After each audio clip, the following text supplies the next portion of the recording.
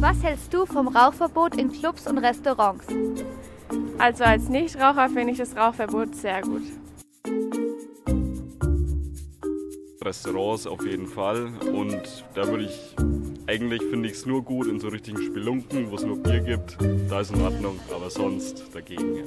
Ja, wie stehst du zum Rauchen? Was hältst du davon? Das soll jeder für sich selber entscheiden. Wie gesagt, ich, ich kenne beide Seiten. Ich habe früher geraucht, jetzt rauche ich nicht mehr. Das soll jeder selber entscheiden. Das sind doch alle erwachsen. Wer rauchen will, soll rauchen. Wer nicht rauchen will, der raucht halt nicht. Ich bin Nichtraucher und deshalb, ähm, ja, ich finde es besser, wenn man nicht raucht, weil es einfach zu schädlich ist für die Gesundheit. Rauch, das Rauchverbot drinne finde ich eigentlich schon eine gute Sache. Also.